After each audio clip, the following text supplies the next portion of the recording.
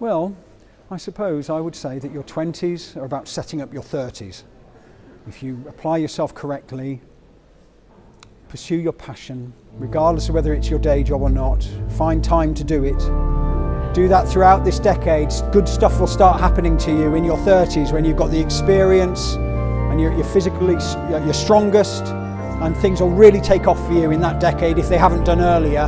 But you mustn't give in and you must accept it's a long road. If you think there's a shortcut, you shouldn't be doing it.